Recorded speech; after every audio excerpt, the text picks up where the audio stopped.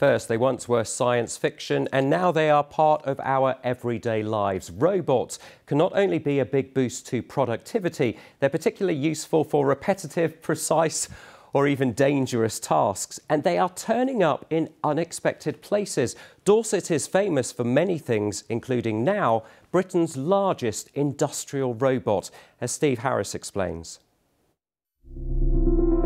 Poundbury has a bit of a reputation. It's a model town with attractive architecture, but because it's quite pretty, it can be easy to forget that industry actually happens here. But it does, because behind those unassuming walls is where you'll find the world's strongest long-reach robots. This beast is a snappily named Fanuc M2000 1700L, Britain's largest industrial robot. If it wanted to, it could easily pick up and maneuver your family car. It's been assembled and tested here by the local company Loop Technology.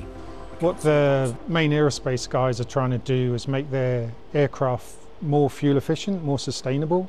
And to do that, you can have more efficient engines, you can have a more efficient uh, aerostructure. And this kit comes in on the aerostructure side by making wings more aerodynamic and more efficient with less drag.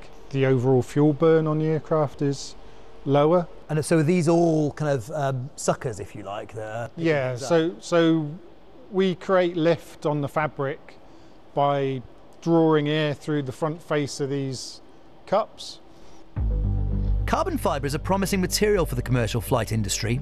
It weighs less whilst being stronger than traditional materials, and a one kilogram weight saving on a plane can prevent 600 kilograms of carbon dioxide being produced. But they want to make these aircraft a phenomenal rate, somewhere between 80 and 100 planes a month. So that's a lot of material that's got to go into a mould very quickly. The way this robot can flex the carbon fibre so it's ready to be moulded into the right shape offers a big advantage speed. We can do in 35 seconds what it would take traditional techniques a couple of hours to do.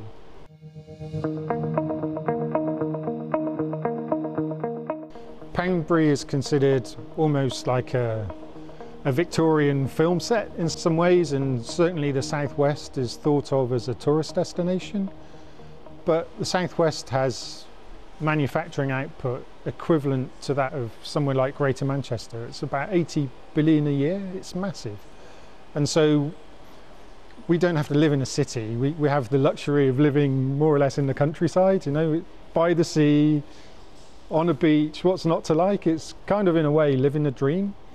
The system that uses these two huge robots is currently being tested in Poundbury before being shipped to a North American aerospace customer later this year. Steve Harris, BBC South Today, Poundbury.